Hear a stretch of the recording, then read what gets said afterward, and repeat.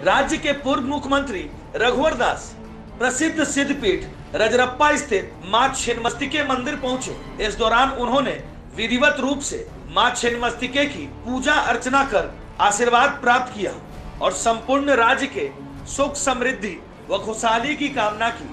पूजन के पश्चात उन्होंने नारियल फोड़कर मंदिर के वरिष्ठ पुजारी असीम पंडा से रक्षा सूत्र बंधवाया।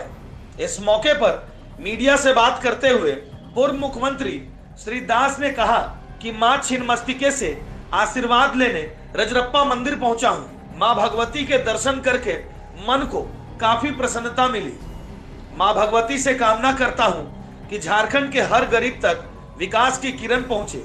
पूजा अर्चना करने के पश्चात पूर्व मुख्यमंत्री रघुवर दास रजरप्पा मंदिर परिसर के दूसरे छोर में अवस्थित बोरिया बाबा के आश्रम पहुँचे। जहाँ उन्होंने बोरिया बाबा से आशीर्वाद प्राप्त किया और उनके साथ दामोदर एवं भैरवी नदी के संगम स्थल का भी अवलोकन किया। पूर्व मुख्यमंत्री के रजरप्पा आगमन पर भाजपाइयों ने उनका जोरदार स्वागत किया।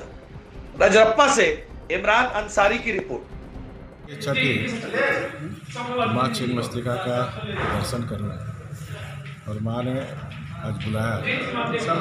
आज दर्शन मन प्रसन्न हुआ। शांति मिली। माँ ने मुझे काफ़ी कुछ दिया। इसलिए माँ से मैं कुछ नहीं मांगा। इस तरह मांगा कि झारखंड के हर गरीब तबके तक विकास दस आदमी का बोले हैं यहाँ लाने समृद्धि शांति माँ सबको। न्यूजीलैंड चैनल को यूट्यूब में सब्सक्राइब करें। और खबरें सबसे पहले देखने के लिए बेल बटन ज़रूर दबाएँ।